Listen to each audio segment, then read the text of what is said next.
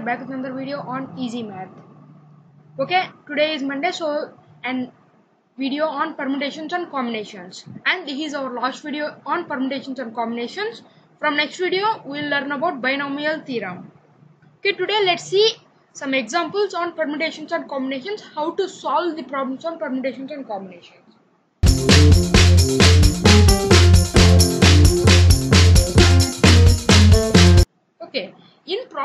Permutations and combinations, the main thing is that we will not get the answer if we just substitute values in the formulae. We should think of that, we should think of a way in which we should use those formulae. There will be some easy ones and tough ones. Let's go by easy, med medium and tough. Okay, first let's start by our first question. That is, there are 5 freshmen, 8 sophomores and 7 juniors in a chess club. A group of 6 people with same class are chosen. Find total possibilities. Okay, what is this question? First we should understand. We should take 6 people from same class means they may be freshmen or sophomores or juniors. We should take 6 people from same class. Okay, 6 people from same class means it may be 6 people from freshmen or 6 people from sophomores or 6 people from juniors. Okay, in freshmen there are only 5 of them. How can we take a group of 6 people? So that is not possible. So we should take off there. And we should take 6 people from 8 sophomores. How is this possible? There are 8 possibilities and 6 boxes. We should find there is it is a group so we should find combinations. So it will be 8c6 which is 8 factorial by 6 factorial into 2 factorial is equal to 28. Okay, if you don't know these, please check out previous videos on permutations and combinations. You will get this concept. Okay, now there may be also a possibility for a group of 6 juniors. What is the value of this? It is 7c6 because it is also a combination, a group. So 7 possibilities. So here the total possibilities are 28 plus 7. Okay, why is this? Why we should add those two? Why we should add 28 and 7? Okay, if we form group of 6 sophomores means in 28 ways. We can also form group of 6 juniors means 7 ways.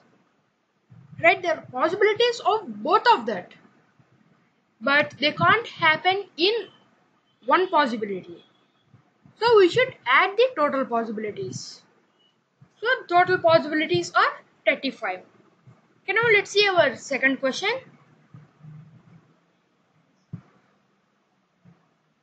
Okay, three prizes are distributed among five students. If no students get more than one prize, find total possibilities. Okay, this cropping is some problem. You you may not be able to see full question. Okay, this is the question. There are three prize, three prizes and they should be distributed among five students. Each student will not get more than one prize. Three prizes distributed among five people. How to find the solution of this? There are five students. We should distribute three prizes. Means there are five possibilities. We should arrange them in three ways. Okay, how is this? If we take, actually we will think like students are constant and students will get prizes. But we should think this question in a different way. How? That is, each prize will go to each of the student. Means, as we discussed in examples, each box will be chosen a value from all the possibilities. You should see this reverse. Then what will be? Three prizes are distributed. First prize in first prize it can go to first student or second student or third student or fourth student. Second prize it can also go to 1 to 5 but it will have only four possibilities because price is gone to some person in 1 and 5 1 to 5 but second prize will not be gone to to whom the first prize is gone. Means four possibilities. And similarly third prize will have three possibilities. But here these prizes can be distributed in any way. Means for example if first prize go to first person second prize go to second person third prize go to third person may also be like first prize go to second person. Means it is in the form of a combination. So the total possibilities are 5c3 which is nothing but 5 factorial by 3 factorial into 2 factorial 10 okay now our third one is some confusing one let's see how to solve that when six coins are tossed simultaneously, how many possibilities in which at most three coins are heads? Okay, how to solve this question? Six coins are tossed, three coins should be heads. At most three coins means there is no possibility of more than three coins being heads. Right?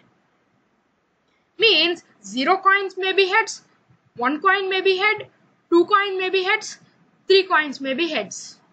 Right? There are only at most three coins. Means this.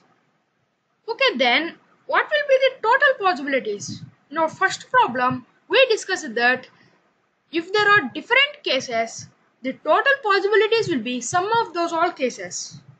So the total possibilities are possibilities at which 0 or heads, possibilities at which 1 is head, possibilities at which 2 are heads and 3 are heads.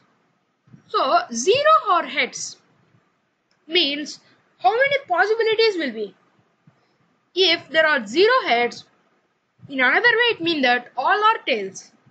Means there is just one possibility. And 1 is head. How to think of this? How many possibilities will we have? Okay, one is head means the first one may be head, second one may be head, third one, fourth one, fifth one or sixth one. So six possibilities. Okay, two are heads. Then it can be written as 6C2. Okay, how is this possible? Based on the idea of our second problem, we we have discussed that in a reverse way. Let's discuss this in that way. Means two coins are heads. First coin and second coin may be first and third or first and fourth but it is not repeated. First and third are heads. Let us imagine then third and first are also heads. Means it is a combination right? In a group order does not matter. So we should find the combination which is 6c2 means 6 factorial by 2 factorial into 4 factorial if you solve that you will get 15 and there are three heads. Three heads means also same way. For example, first, second and third are heads. Second, first, third or second, third, first can be arranged in six ways. Means it is a combination. So it will be 6c3 which is nothing but 6 factorial by 3 factorial into 6 minus 3 3 factorial which is nothing but 40 okay if you not understand how to calculate this check out my previous videos on permutations and combinations. You will find out how to solve these. So the total possibilities are 1 plus 6 plus 15 plus 40. Means you should add all these. Okay, again I am explaining why we should add all these. Okay, if 0 are heads, they asked at most 3 coins are heads. Means 0 coins may be heads, 1, 2, 3 may be heads Okay, why we should add them? Why we can't multiply or subtract or divide them? Because here if 0 or heads, it is not related to one coin is head. Those both are separate combinations. So if they are separate, we should add to get the total possibilities. Okay guys, this is for today's video. If you like the video, hit that like button, smash that subscribe button, ring that bell icon, it notifies you when I release a new video. If you have any doubts, comment on below. I'll answer them in the next video. In next video, in next Monday, binomial theorem.